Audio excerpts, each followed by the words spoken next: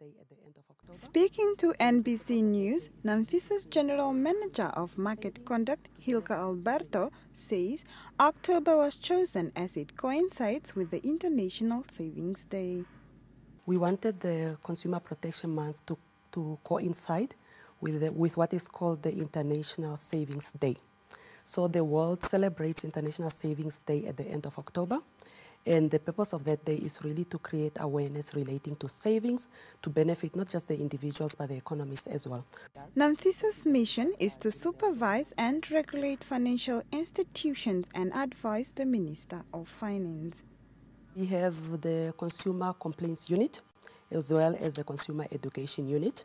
And I want to focus for these purposes on the, what the Consumer Education Unit does, considering that uh, during the October month we want to be creating lots of awareness.